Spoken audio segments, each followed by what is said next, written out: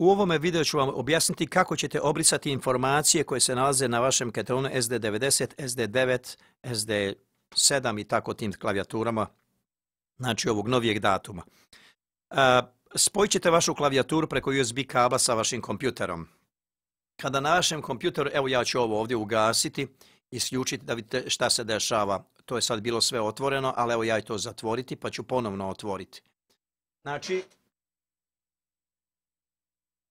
Kada ste spojili vašu klavijaturu, onda ćete na samoj klavijaturi pritisnuti dugme e, menu, a zatim media, a zatim PC Connect.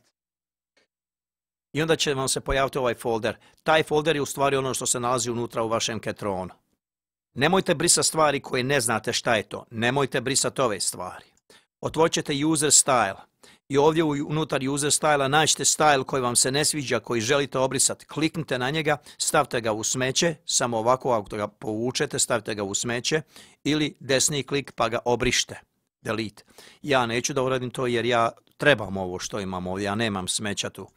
Znači, sve što ovdje na ovim mjestima u user style u user voice-u, što imate u ovim folderima, osim ovoga, ovo nemojte, sve ono što ne razumijete, nemojte dira. Znači, ovdje uđete i ovdje imate ove vaše glasove, zvukove, tonove, kako hoćete, njih možete brisati. Zatim otićete ovdje, ako odete u registration memoriju, unutar u registration memory imate bankove i unutar bankova imate vaše pjesme koje se nalaze u memoriji. Odaberte pjesmu koju ne želite i brište.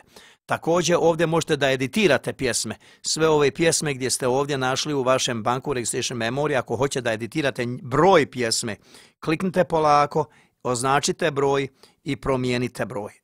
Na primjer, ovdje ja ako želim da promijenim broj pjesme, ja sad mogu da promijenim broj pjesme. Ja ne želim to da uradim ovdje sada, zato što u mene to sve funkcioniše kako treba.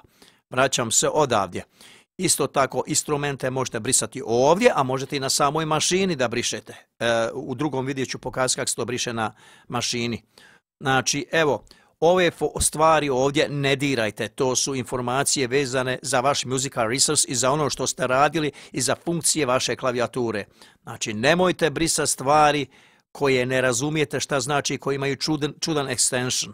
Nemojte to raditi. Samo brište, na primjer, ovo, user style, user voice, znači registration, možete otići ovdje u, u, u vaš uh, user modeling, unutar vašeg user modelinga imate live drums, ako ne volite neke od live drums možete obrisati kompletan folder.